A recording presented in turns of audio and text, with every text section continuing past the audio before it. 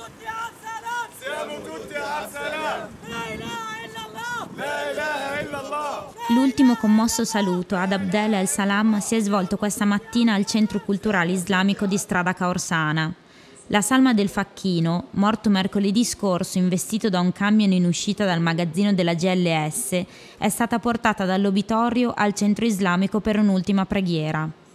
Le lacrime della vedova di Abdel el Salam hanno riempito il centro e commosso tutti i presenti, fra cui il figlio e il fratello del defunto. Alla preghiera è seguito un breve corteo lungo strada Caorsana, dopodiché la salma è stata portata verso l'aeroporto, Proprio quest'oggi, infatti, la famiglia raggiungerà l'Egitto, paese natale di Abdel el Salam, dove si svolgeranno i funerali.